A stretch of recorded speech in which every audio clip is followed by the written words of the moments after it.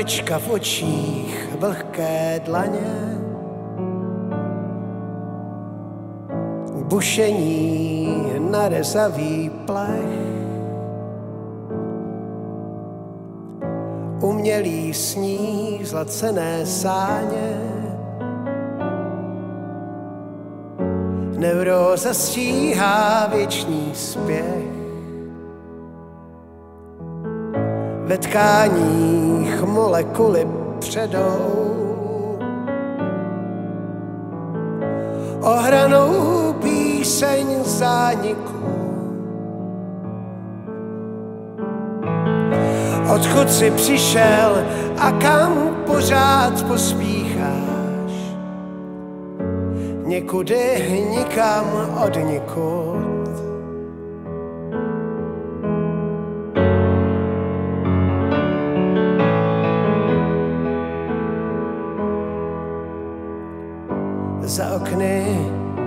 Otvírá se vesmír. Za komínem se ztrácí čas. A anděl ukazuje k nebi. Spouště zní naléhavý hlas. na rovnej cesty spevni mosty. Navzdory věčným pochybám. Ten úkaz je a vůbec není prostý. Praskají rámy těžkých brán. Odlétá hejno černých vrán. Tajemný host přichází k nám.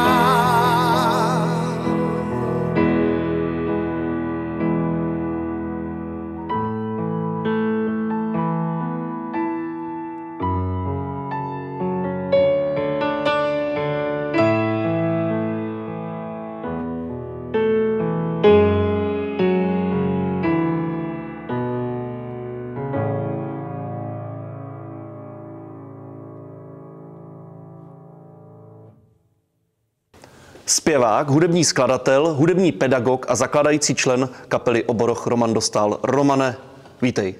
Ahoj Honzo, dobrý den, milí diváci. My jsme eh, tady řekli, že jsi zpěvák a zakladající člen eh, kapely Oboroch. Ty se samozřejmě věnuješ i své solové dráze. Eh, jsi víc solový interpret nebo si víc člen kapely Oboroch? Tak hlavní přístav, když bych to takhle nějak trošku popsal, tak je pro mě skupina Oboroch, ale rád z toho přístavu vypluji na své solové loďce, tam trošku si tak někde pošmrdolím v těch vlnách oceánu a pak se zase rád vracím na svoji základnu, kterou je vlastně skupina Oboroch. Kapela Oboroch poprvé koncertovala v Kostelci nad Orlicí v lednu 1989. Jestli počítám správně, už to je skoro 34 let. Eh, jak vzpomínáš na ty začátky? Protože ty si nepřišel vlastně eh, k tomu oborohu úplně sám. Tím otcem, zakladatelem asi můžeme říct je Slávek Klecandr. Je to trošku i trošku jinak, protože eh, když jsem se přistěhoval v roce 1986 do Rychnova, mě jsem zavál vítr, tak potom jsem se zkoušel dostat nějak trošku na poloprofesionální platformu hudby přes tehdejší svaz lidových hudebníků. Dělal jsem přehrávky v Kostelci nad Orlicí a byl tam Vašek Klecandru, tenkrát se tam byl jen tak podívat na kukačku. Tam jsme se seznámili a po přehrávkách jsem se u něj stavil a pustil mi vlastně první neoficiální kazetu, kde byly zhudebněné žalmy. Mě to oslovilo byl jsem z toho úplně pav, protože to byl pro mě nový druh muziky, nové pojetí a opravdu mě to celý okouzlilo. A tak jsme se potom domluvili, že bychom mohli zkusit dát něco dokupy a pak s tím Vaškem Klecandrovým jsme jeli za bráchu jeho, za Slávkem a dali jsme dokupy vlastně takovou tu základnu skupiny Oboroch. Oboroch se vlastně vyprofiloval především na těch biblických žalmech. Eh, píšete o sobě, že jste křesťanská folk rocková kapela. Eh, bylo ti to už v té době blízké téma, to téma toho křesťanství? Já jsem měl docela bohatý život, co se týče mladého muzikanta, zpěváka regionálního rozměru. A e, jak už říkám, když jsem slyšel poprvé z hudebněné žalmy, tak mě to oslovilo i z druhé strany, protože to bylo pro mě takový civilnější, než kdybych třeba seděl v kostele a poslouchal kázání. Takže vlastně díky té hudbě a tomu pojetí, tak to bylo mému srdci dost blízký. Nicméně v té době vy jste neměli s těmi biblickými žalmy úplně na růžích ustláno. Vy jste vlastně v těch, na konci těch 80. let, kdy v podstatě eh, ještě tady eh, kvetl, kvetl bývalý režim, eh, asi to nebyla úplně, úplně jednoduchá doba pro vás. Máš pravdu. Ještě než jsem tady bydla, tak Slávek Klecandru s tím zmíněným už bráchou Vaškem tak měli v Třebechovicích na evangelické faře takovou bezejmenou kapelu a jezdili ilegálně po kostelích a už ty ležalmy hráli.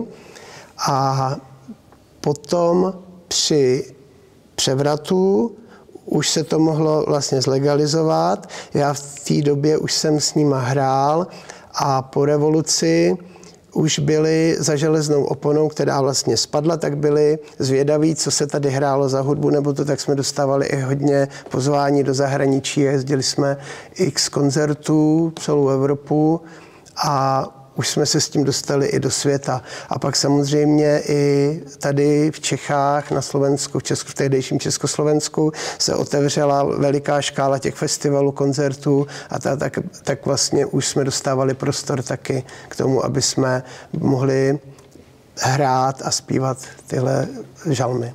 Je neuvěřitelný, že jste vydrželi 34 let. Já jsem se díval na ten seznam bývalých členů. Eh, Honza Zemen, Rychnovákům dobře známý, Vendulka Roklová, neteř eh, svého slavného strýce, eh, Vašek Zima, to jsou všechno celkem významní umělci a muzikanti, kteří s vámi občas hrají dodnes.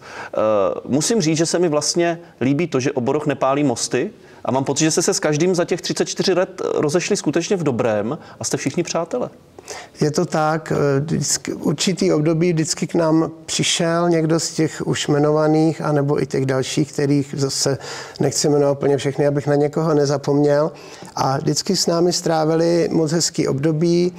Natočili s námi i třeba nějaké CDčko, odjeli x koncertů, strávili jsme spolu nádherné chvíle a potom už je zase vítr zavál dál, takový ten hudební vítr, zase šli si svojí hudební životní stezkou. A je pravda, že jsme se vždycky rozcházeli v dobrým a, a těžíme z toho dodnes, i z toho důvodu například, že když já jezdím i někdy hrát solově, tak si také mohou oslovit filharmoniky a věřím tomu a, a všemu, vše tomu tak jako nasvědčuje, že i rádi si se mnou zahrajou i ten můj solový repertoár. Jak by si velmi ve zkratce zhodnotil těch 34 let? Jakých bylo? Já s oblibou říkám, že Oboroch je pro mě takový životní soundtrack. A je tam vlastně jedenáct natočených alb. A když si, když si někdy otevřu naše webovky, www.oboroch.cz a tam na lištách vidím tu diskografii, historii, o ty stránky se starám, takže to pořád aktualizuju, takže jsem v tom docela tak jako vím přesně kam kliknout, nebo tak vím, co kde najdu. Tak je to pro mě život, jako když třeba rodina, která spolu dlouho vydrží a vyrůstají jim děti a postupně všichni stárnou a pak se jednou podívají na to fotoalbum a teď se koukají do těch fotek a vzpomínají.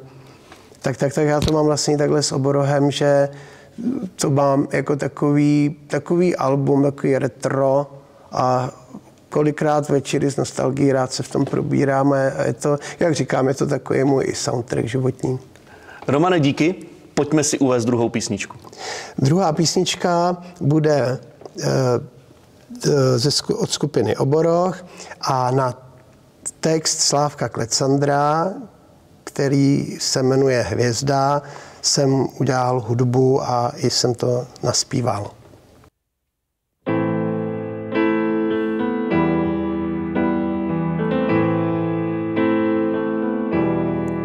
Bylo to v červenci, možná v srpnu, hvězda padala a čas usnul na měkkých poduškách tajených přání, splněných nebo ne, nemám zdání.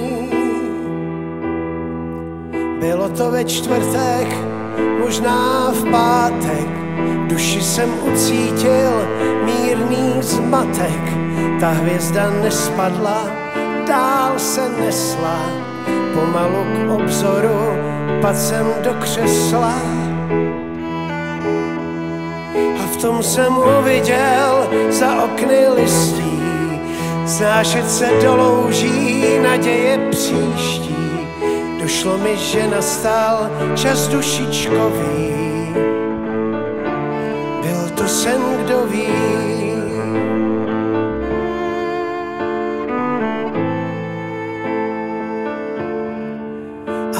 Hvězda na nebi promluvila, hlas ten jsem nezaslech, ale ta síla, která tím vstoupila do mých nohou, sám stál jsem v údivu pod oblohou. Jako ti pastýři z valašských kolet, touha mě začala hřát, trochu i bolet tak jsem vyrazil, Bůh ví snad k jihu, vím jen necítil jsem pra žádnou tíhu. Bylo to v prosinci, jsem si tím jistý, hvězda mě vedla dál, její zpět čistý, prosvětlil na chvíli betlém mé duše, víc než jsem tušil.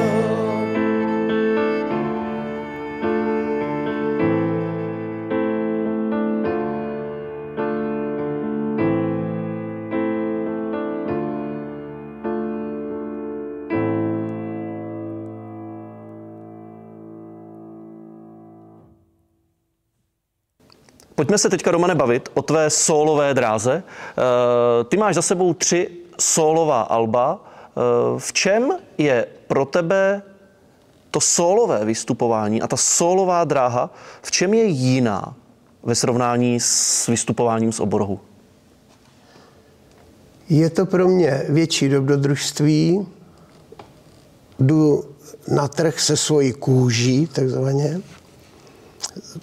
zodpovědnost a je to v mým věku, aby to neznělo tak jako na bubřele. Je to takový moje dokrmení ega, chlapského, muzikantského, že jsem schopný se postavit nebo si sednout za klávesy a něco sdělit lidem, aby ten esprit tam byl nějaký a i s tím, že když mám vedle sebe doprovázející muzikanty, tak je to pro mě ještě větší vzrušo, aby, aby to všechno klaplo, aby tam bylo takové to souznění a aby jsme aby to bavilo nás, nás muzikanty a aby jsme na očích a e, pohledech lidí viděli, že je to baví taky. K tomuhle tomu muzikantskému sebevědomí, jak o něm mluvíš, musel se k němu propracovat? A nebo si to prostě měl od, od mala, od mladých let v sobě? Já jsem byl od mala už takový egouš. Takže já jsem neměl nějak problémy s tím, že bych se styděl, že bych měl no ne trému, ale jakože bych byl uzavřenější. Ne, vidím to v dnešní době u svých žáků, že hrozně moc hezky hrajou, zpívají, když jim třeba řeknu, nebo když se jich zeptám, zahraješ něco doma, když přijede babička, nebo ne, nebo tak to, to třeba jsou takový trošku takový upozadněný a že jako no, jako ještě ne, až budu starší, nebo tak, to je zajímavý. Tak ale to patří k té době. Ale já vlastně už od 15 let jsem měl možnost hrát eh, před lidma a tak to přišlo tak, tak jako takový přirozený vývoj, takže já s tím nějak problém jinak jsem neměl. Zajímavé je, že skutečně jezdíš po celé republice. Ten přesah Romana Dostála je obrovský a troufnu si tvrdit, že si ho rychnováci možná ani sami jako často neuvědomují. Co mám pocit, že na tvé písně velmi dobře reagují posluchači napříč generacemi. Když jdu na tvůj koncert, vidím tam nadšené 20-leté, 40-leté a vlastně i 60-leté takřka tvoje vrstevníky. E, to je asi známka toho, že to neděláš špatně a vnímáš to stejně? No, texty, kterými píše Petr Střešňák, pedagog a mm, vlastně vystudovaný teolog dálkově, tak e, pojednávají o věcech kolem nás, pohled na různé příběhy a jsou dost hluboké, ale přitom nejsou úplně filozoficky psané. Takže jsou takové, až se mě zdají lidové, jak, tomu, jak to chápu já, jak to vnímám. Snažím se, aby ty písničky měly vždycky část, aby to mělo eh, hitový potenciál, aby vždycky lidem zůstalo aby jim zůstal ten úryvek melodie, když se třeba budou vracet z koncertu, nebo tak, aby si říkali, je to je hezká melodie a k tomu i třeba ten úryvek z textu. A to je základ vlastně všeho, jak to vnímám já, že se to těm lidem líbí. E, I ve své solové dráze inklinuješ e, k těm křesťanským věcem? Určitě, protože jsou to pro mě hodnoty, je to daný historicky, je to, abych potom nějak tady moc nefilozofoval, ale jsem tak vychovaný, snažím se chovat slušně, snažím se víc vstříc lidem to, co slíbím, tak to splním a základní hodnoty, to jsou pro mě. Tak proto jsem i rád, že se ty myšlenky objevují v, textech od toho Petra a takový texty o tom, že ležíme někde na pláži a pijeme kolu, nebo že se máme rádi a tak jakoby někde teenagerovsky, nebo tak, to nechám jiným. A je to v pořádku, ať to zpívají, hrajou, ale já to cítím na této platformě takhle.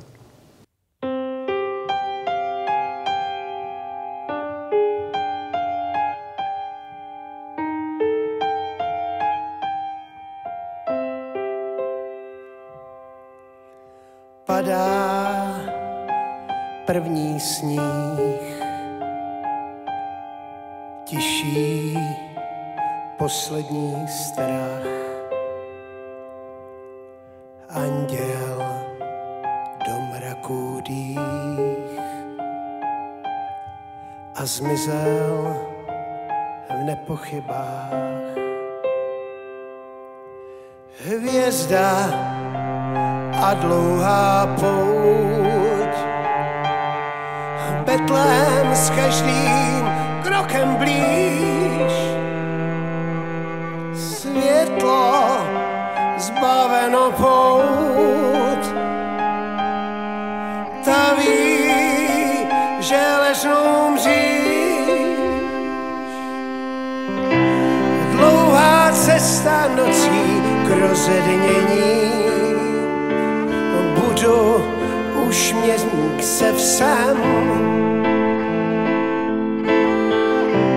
A my zmatení a pokažení zjeděnou nouzí teď okny do tmy vyhlížíme nebesa těhotná od spuštění našich nekonečných vin.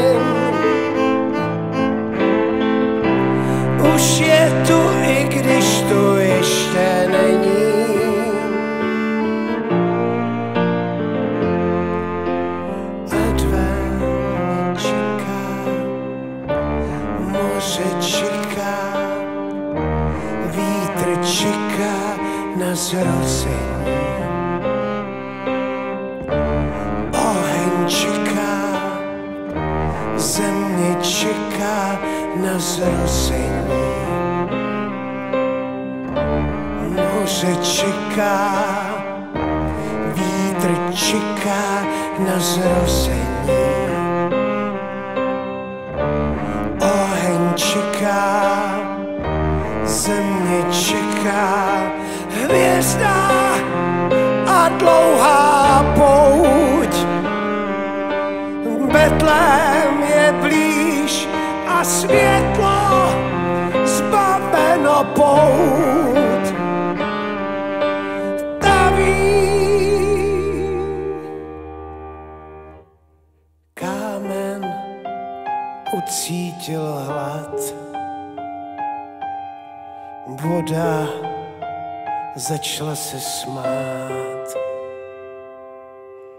Pastýř jenž kolem šel v údivu o něm měl.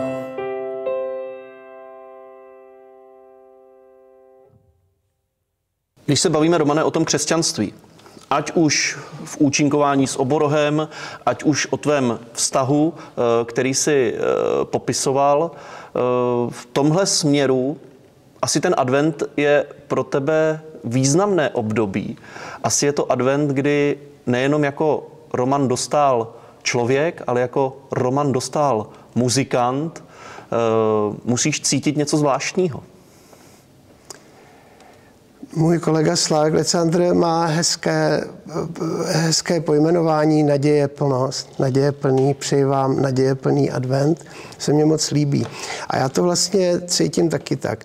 A já mám výhodu, že moje profese je protknutá s mým životem, protože já vlastně se hudbě věnuju každý den od rána do večera. A teď v období adventu tak připravuju dětem, které ke mně docházejí, tak eh, jim připravuju adventní písničky, potom vánoční, takže vlastně já už to s nima prožívám a už se dostávám do té atmosféry. Navíc, jak už jsem mluvil o tom, že moje profese je tím spojená i s tím mým osobním životem, tak já moc neprožívám takový ten schon a ten blázinec, protože v dnešní době se dá všechno už od internetu nebo díky internetu objednat, zařídit, takže já neprožívám někde nějaké fronty a, a nějaké nervy ve městě nebo tak. Já to mám úplně v klidu a těším se na to, až budou vánoční školní prázdniny, že to celý zaklapnu, vypnu počítač a budu odpočívat. Hraješ solově nebo s kapelou v adventu víc než třeba v průběhu roku? Určitě, ale e, vybíráme si koncerty, už chceme hrát v teple, už máme za sebou opravdu koncerty, kde byla veliká zima, rekord máme dokonce i minus 18 stupňů, to jsme hráli na vánočních trzích na Zelňáku v Brně a tak to už, jako to už se pak, už, už máme na to věk, že už se nám fakt špatně hraje a i nástroje trpí a moc to neladí pak. Ale jinak máme moc hezký místa, kam se rádi vracíme a víme, kam jedeme, kdo tam bude z pořadatelů, jaký, jaký lidé přijdou, takže už to vlastně máme spojený i s tím, že tam jdeme jakoby na návštěvu a užijeme si to vlastně všichni společně. Ale když se zase se vrátím na naše webovky, tam se lidi můžou dočíst, jakože už jsou připravený hodně i koncerty na jaro a pak takhle. Eh, ten závěr roku je, Romane, vždycky ta doba, kdy se jako bilancuje. Jo? A já e, s oblibou pokládám otázku, kterou bych teďka možná vztáhnul na celou tu tvoji kariéru, na těch 35 let, jestli to můžeme takhle zjednodušit. Co ti hudba dala a je něco, co ti možná vzala? Hudba mi dala to, že mám skvělý život, že jak budu se opakovat, že pro, profesní život se spojil s osobním, tak tím pádem nemám vnitřní pnutí a žádný nervy s tím, že ráno musím brzo vstávat a musím mít třeba pracovat někam do kolektivu, který mi zrovna není blízký. Takže vlastně si jedu sám na sebe a tak jako si to všechno rozmyslím a tak, jak se rozhodnu, tak tak to bude. Tak to je pro mě výhoda. To, co mi vzala, tak vzala mi to, že jak jsem hodně cestoval a mám za sebou přes tisíc koncertů, tak vlastně je to zase na úkor mého osobního života, ale před 11 lety jsem měl takový hezký milník a vlastně nejsem sám už doma a tak to jsem velice spokojený, že vlastně i tohle se mě poštěstilo, že je se mnou i někdo, kdo má rád moji muziku a kdo je i zvědavý na nové písničky a tak, tak to tak vlastně asi takhle, no. My jsme zvědaví na tu čtvrtou písničku, co nám zahraješ, no. Romane? Doteďka jsem zahrál adventní písničky a teď to bude vánoční a bude to z našeho posledního alba ze skupiny Oboroch, když věčnost navštívila čas. Roman Dostal a Dita Holá. Dětství se vrátilo na malou chvíli, na chvíli svůní věčnosti. Zase jsme spolu, mrtví i živí. To není paměť ani snění, spíš zácná chvíle vytržení. A žádná bolest, žádný strach. Radostná blízkost při svíčkách. Když věčnost navštívila čas, šeptám si,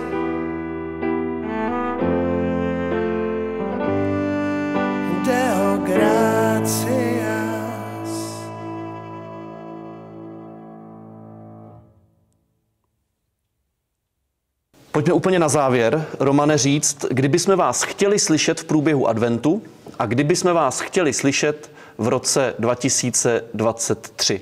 Kam máme vyrazit? Tak když ještě budeme mluvit o adventu, tak jsme pořád mimo Rychnov nad Kněžnou. My tady se snažíme hrát třeba jednou za dva roky. Zase jsme malý městečko a kdyby jsme tady hráli častěji, tak zase musí dostat prostory ostatní kapely. A takže jsme opravdu daleko, Olomouc, Ostrava, Praha, Brno, takhle různě jezdíme. A na příští rok už tam máme z hlavy tak nějak trochu zkusím zapátrat Ústí nad Labem, znova Praha, Brno. A já bych teda využil ještě teď, že se na to ptáš takhle, tak já bych chtěl pozvat na můj solový koncert s partou Filharmoniku z Hradecké a Pardubické filharmonie. Tak 3. června, je to sobota, s laskavým pozváním budeme hrát koncert v kostele, v římskokatolickém kostele v Zámeckém parku, kostel nejsvětější trojice, tady v Rychnově. A bude to v rámci akce svátku nejsvětější trojice. Takže tím to všechny zvu a ten, kdo se nedostal v loni, vlastně ne v loni letos, pardon, kdo se nedostal letos v létě v rámci Poláčkového léta na, na můj solový koncert na zámek, tak teď má možnost si ten koncert poslechnout příštího roku v červnu v, už ve zmíněném kostele. Říká zpěvák, hudební skladatel, hudební pedagog Roman Dostal. Romane, díky za rozhovor, ať se ti daří krásný advent a hodně zdraví v příštím roce. Děkuji za pozvání a všem lidem přeju naděje plný advent.